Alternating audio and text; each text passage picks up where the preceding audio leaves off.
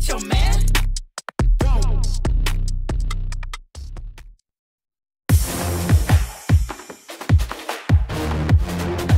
The single leg sliding deadlift. If you've tried this slick deadlift variation, you will already know that this isn't an exercise you can play with. It's an all or nothing kind of movement. Get the form on point and your hamstrings and glutes will hate you for the rest of the day. Get it wrong and you'll be left wondering what all the fuss was about while holding your lower back.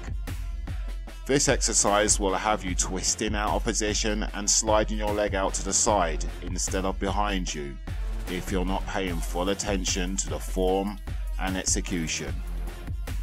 Items needed 1 slider, bath towel or paper plate, and 1 dumbbell. You will also need a hard, slick surface to make good use of this exercise. The setup. Stand with your feet just about shoulder width apart, with the slider firmly under the toes of your right leg. Place the dumbbell on the same side as the slider, ensuring that it's just in front of the quad muscle. Keep your chest high, tense your core, working hamstrings and glutes. Maintain a slight bend in the front knee.